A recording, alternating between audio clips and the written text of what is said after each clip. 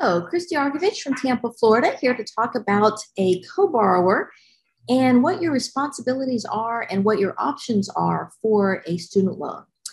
Um, a lot of clients come to us and they are either the co borrower or they're the original borrower, but they have this federal, usually this private student loan. I'm sorry, this is usually for private student loans.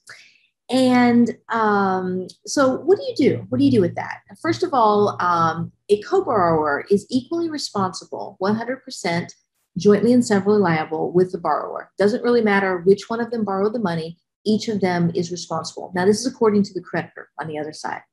And that is also what the law holds. Um, so be very careful when you're ever being asked to co sign something, because if that original borrower doesn't pay, you're on the hook.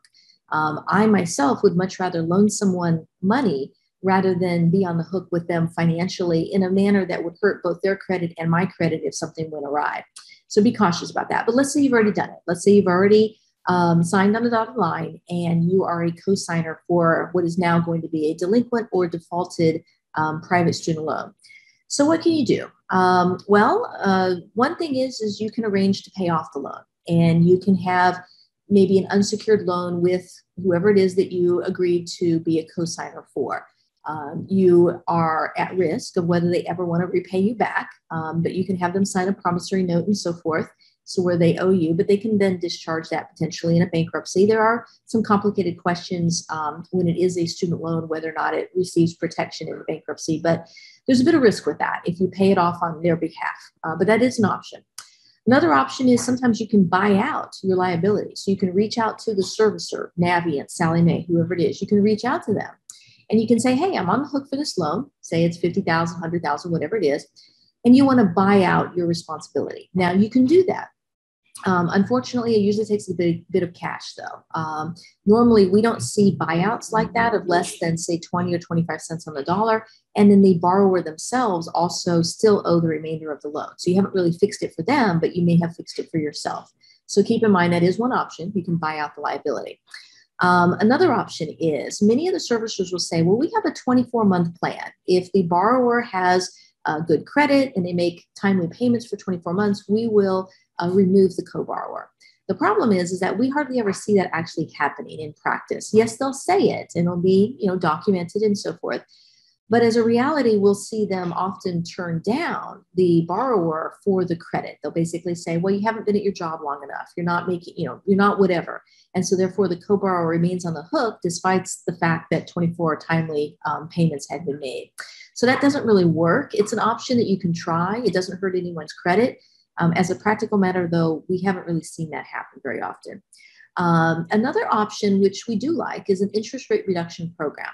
Many of the servicers will say, well, we'll go ahead and reduce your interest, but they won't do so unless you ask them. So you have to ask them, do you have an interest rate reduction program? How long does it last? What does the rate go to? You may see that the rate will go to zero or 1% for a short time. Might be a quarter, might be a half year, maybe even a full year or more.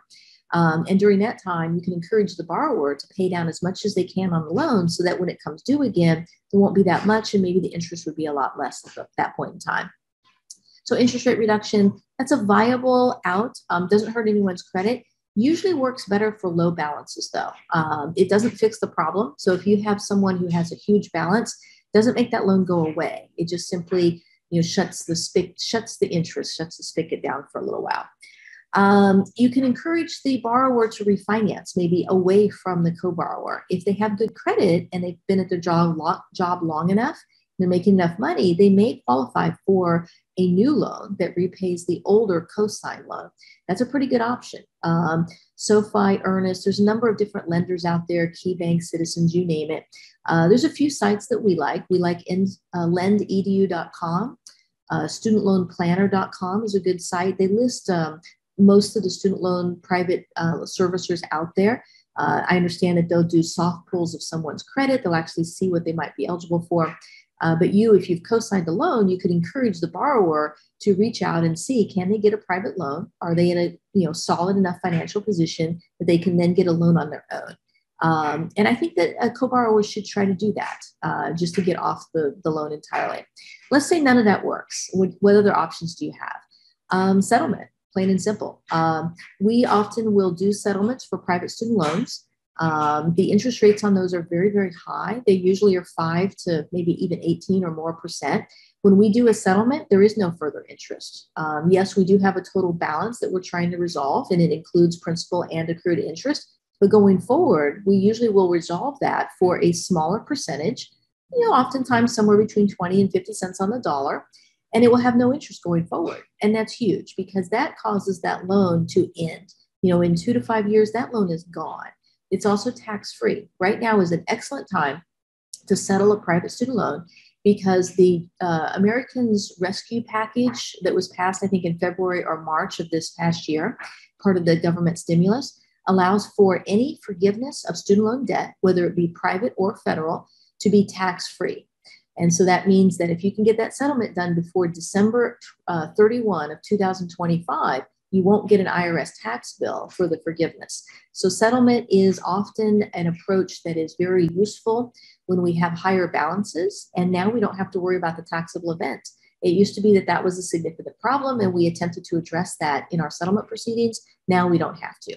So, I hope that all these options of what to do when you have co signed a um, private student loan uh, has been helpful to you. Please subscribe, hit the like button down below, and stay tuned if you have any other uh, student loan questions, any other um, things that you hear about in the news that's being offered by the Biden administration or the Department of Ed, we probably have done a video on it or we will have one coming out shortly. So stay tuned and thank you so much.